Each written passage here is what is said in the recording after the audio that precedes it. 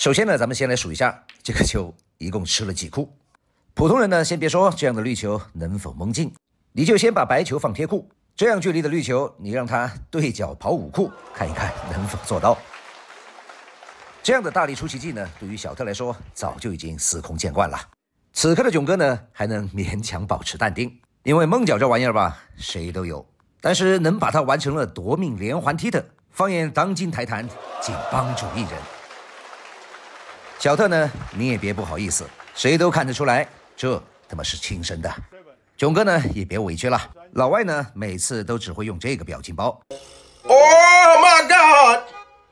来来来，囧哥别哭，咱们中国人呢，对于这样的遭遇有一个很文艺的说法，咱们管它叫六月飞雪。